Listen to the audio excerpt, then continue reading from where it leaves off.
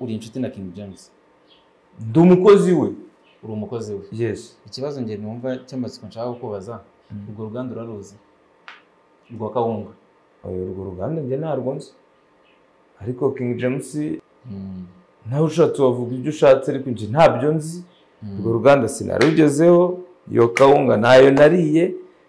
Yes ni kigali news channel channel yanyu channel y'abantu bose muri rusange. Aho uzajya usanga amakuru every day buri munsi. Nanjye nagiriwe ubu na- navuga ko ari kukwakira. Nagiriwe umugisha wo kuba uwa mbere.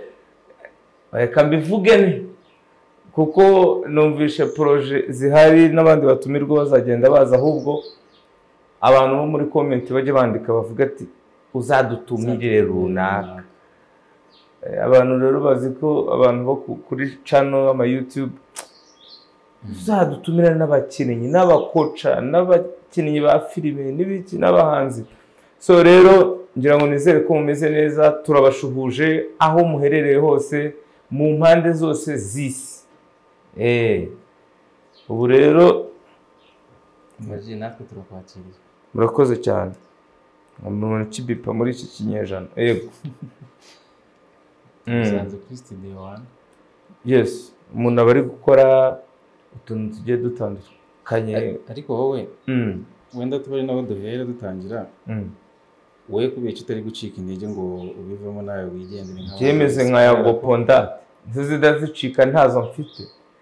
Umuntu acika ibyo afite. Eh? urabona um,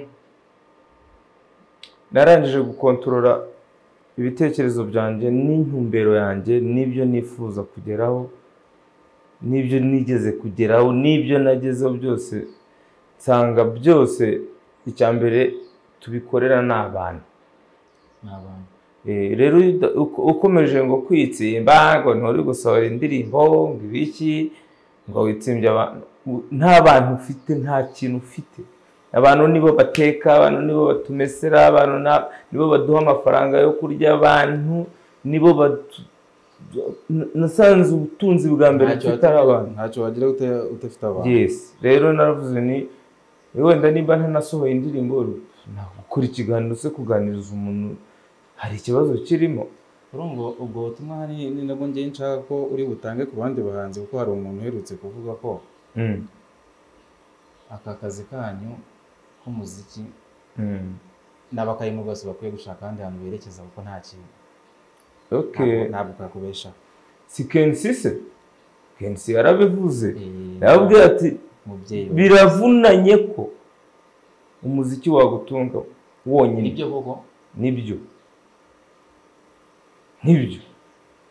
Rero si ubuheruka kumenya ibitaramo. Abahanzi dufite mu rwanda bageze nko mu bihumbi bingahe? Sibyo ntabwo mbizi si nigeze nkora statisitike yabyo ariko ni benshi pe. Abaririmba neza abo byanze kandi bari abahanga biki byose ariko ugasanga habaye ibitaramo bitatu mu bahanzi ibihumbi bitanu wowe urumva. Kandi nabwo wenda ugasanga baguhaye ayo magana inani iyo miliyoni. So biravunanye kumva ko umuziki wagutunga wonyine. Hari ababyumva nabi babyumve nabi ariko nkanjye nk'umunya- nk'umunyamuziki ndabizi tu. Kandi njye nabihereye kera mbabibabwira. Ko hari abandi bantu se tubona abantu kuko nkurikije uko tubazi hano hanze aha ngaha tuzi ko umuziki batunze. Ntabwo ndi bwirirwe njya mu mazina ariko ngira ngo harabuze batazi ikindi kintu cyabo yes Kiri hanze yabo. eh, yes. Okay. Ariko niba ntabwo wababarira ku ntoki. Wenda tuvuge wenda nka Bruce Melody. Bruce Melody. Kuba umutunze ariko ntakikubwira ko nta tundi tuntu akora ku ruhande. Wenda adashaka kutangaza. Eh icyo tucyumvikaneho ureke ngewe waje ngasakuza nkavuga ko nkora n'amafirigo ariko nabikoraga kugira ngo mbone amafaranga yo kurya. Wari ukeneye abakiriya? Kandi ndababona ndanabashimira rwose. N'uwo kenisi uvuze wavuze ibyo bintu tugarutseho nawe ndamukorera. Ntibikuyeho ko ariko nawe ngira ngo yari umuhanzi mu- we yarabihagaritse.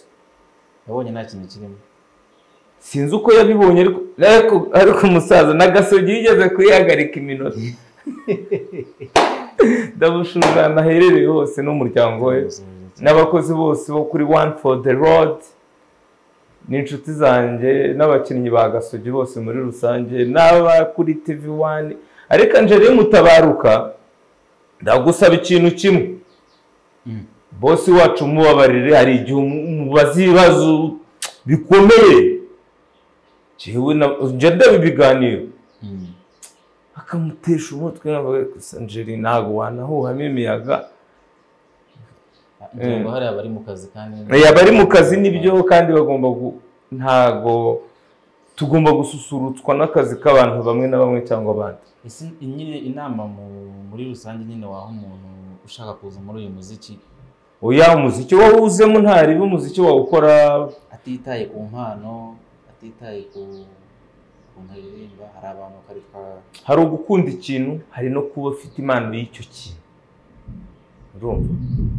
Nanjye njyewe nikundira guharura amafi? Ndabikunda. Ariko ntabwo mbifitemo impano. Barambajije ngo ngiye hanze nakora iki? Mm. adolphe bagabo kamishi ndavuga rero nje hanze ntabwo wajya gukorera firigo abazungu bo bazirema. Ahubwo nareba muri izo firigo babikamo iki? Amafi nkayaharura ko arambwira ati rero ako kazi karavunanye. Ndamubwira ariko nda- ndabikunda nkunda kubona urabona iyo uri gukora akazi nk'ako k'amaboko gatuma uticara cyangwa utekereza ibintu by'ibyo bintu by'amabifu y'abantu by'ibintu utamenya. Uba uri bize cyane. Bitandukanye na ka kandi ko kuri kompiyuta wicara uri wenda gu- gu- gu- gutaransifera ama- amafaranga kuri konti imwe y'umuntu uyashyira ku yindi Mm. wakwinjira muri interinete wa rifureshingi ugahita ubona ngo ngo amaji yafashe umwana ku ngufu. Ugahita ukomereza kuri ibyo bintu Mm. bitandukanye ariko se waba uri ufite icyuma wambaye ga uri kwiharurira amafi? Nta mwanya ntawo ntawo kabisa. So rero twagakwiye gushaka utundi tuzi. Tw'amaboko akazi k'amaboko cyangwa se k'ibindi bintu ariko kanyuze mu mucyo kandi gashobora kugutunga n'iy'umuziki none si ubwo ko twabaye muri covid si mubyibuka cyane. Eh, wari ufite icyo akora cyangwa uwisevingiye neza? Ntabwo byamuteye ihungabana rikomeye cyane. Yes. Hari ikindi kintu numvaga twaganiraho Mm. eh, ku bintu bijyanye n'imbuga nkoranyambaga. Imbuga nkoranyambaga. Eh, reka mbere y'uko twinjira kuri icyo kintu cy'imbuga nkoranyambaga mbanze mm. ubwire akantu. Mm. imbwa ubonye iri kurya umuntu. Sibyo Mm. wenda tubivuge mu buryo buri wese ari bubyumve yego. Urashaka ifoto yo gucuruza wenda ku mbuga nkoranyambaga? Mm. ari ifoto y'imbwa iri kurya umuntu. Mm. cyangwa umuntu ari kurya imbwa. Wacuruza iyi? Urumva ntabwo bisanzwe kubona umuntu ari kurya imbwa. Nyine kuba imbwa irya umuntu iyo nta nkuru irimo. Birazwi ko imbwa ishobora kukurya ariko kuri izi mbuga nkoranyambaga turashaka za nkuru z'umuntu uri kurya imbwa.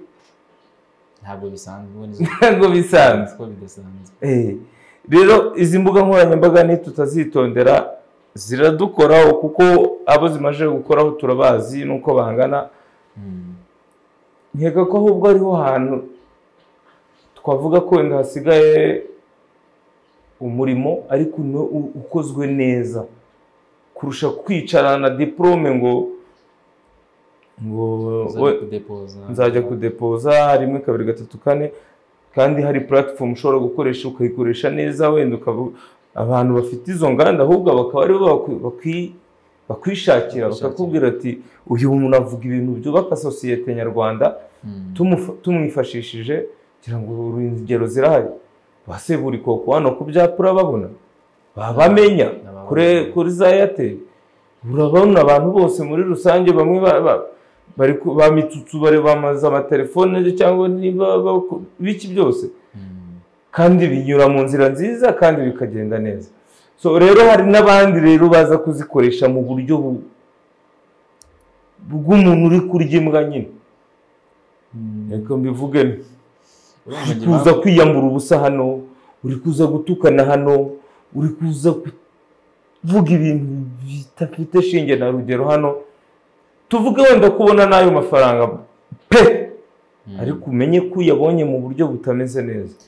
Ariko ngira ngo iyi mihanda kandi ibyo bintu ntabwo bitinda. Ibintu ukoresheje ibintu bitameze neza ntabwo bitinda. Mm. yego. Urumva njye impamvu nari nkubwiye ku bintu bijyanye- bijyanye n'imbuga nkoranyambaga? Hari ibintu bivuzweho mu minsi ishize by'umuntu ngo wambuye undi undi yambuye undi King James ikamuvuge mu izina. Si ibyo se nkubwiye? ngo yakoze akawungu yatse umuntu amafaranga miliyoni mirongo itatu akora uruganda rwa kawunga. Urumva? Ibyo bintu ku mbuga nkoranyambaga ibyo bintu eh, ibyo bintu Mm, buriya hari icyo bita gukotinga. Gukotinga ni ukuvuga ngo suruse y'iyi nkuru mm, uko runaka yabivuze ni yego. Ngira ngo dusubiye inyuma gato Mm, mbere y'uko bakora ibyo bintu ajya kumwohereza ayo mafaranga bavuze mm, ntabwo babitumenyesheje. Bavuga ati umushoramari runaka. Nshoye amafaranga yo gukora ibi bintu wenda ubimanaginga n'uyu cyangwa se uwo tubifatanyije n'uyu. Cyane. Ajya gufata iyo keredi bavuze ni muri turukiya sinzi igihugu bavuze. Mm, ntabwo twabimenyeshejwe. Sinumva rero rezilita z'ibyo bakoze ukuntu biza bikatugeraho. Noneho ngira ngo ni muri aha hantu noneho muri? Ni muri Sweden ya sweden. Mm, noneho ikirenze kuri ibyo njyewe na na na na ntabwo numva twita ushobora gufata ibibazo byawe biri biri simple. Tukiri aho. Mm, tukiri aho ngaho. Dufite inzego zishinzwe ibyo bintu. Tutararenga aho ngaho? Mm. eh, uyu muntu uri inshuti na King James. Ndi umukozi we. Uri umukozi we? Yes. Ikibazo njye numva cy'amatsiko nshaka kukubaza Mm. urwo ruganda uraruzi? Rwa kawunga. Urwo ruganda njye ntarwo nzi. Ariko King James n'akazama wenda ko kurepara izo firigo ze byo ndabizi.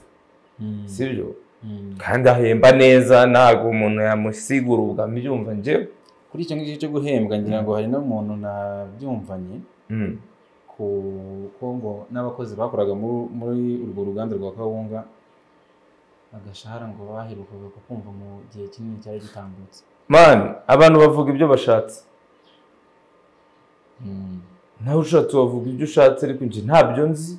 Mm. urwo ruganda sinarugezeho iyo kawunga ntayo nariye njye nkubwira ubucuti bwanjye nifite. nubwo se waba warigeze wumva avuga ko wenda yaba rufite ahandi hantu wenda niyo ntabwo nyine waba warumvisha avuga ku amakuru turayumva menshi tuyafata nk'ibihuha. Wowe nk'inshuti? Ye njyewe nk'inshuti ye ariko turi inshuti mu buryo buri mizikari na- na- n'ibi bya mekanike sibyo ntabwo ninjira mu buzima purayivesi y'umuntu ntabwo nkunda kwinjiramo. Ubwo ngira ngo ntabwo byari purayivesi kuko na kuko ubwo najya kumubaza ngo ufite uruganda. Ahubwo ngira ngo ubwo yakabikubwiye kuko ngira ngo akawunga se ubwo yari kuzakirira wenyine ngira ngo yari akwiye ku hari ikigo cy'ishuri uzi ngira ibyo ntabwo nita ku byo abantu bavuga njyewe mvuga ku muntu uko muzi. Mm. james ni umuntu wakuye amaboko mu mufuka ni umuntu nemera rero ibyo byabayeho ariko wibuke. Reka dukotinge. Rubyiruko bureze ntabarangaze.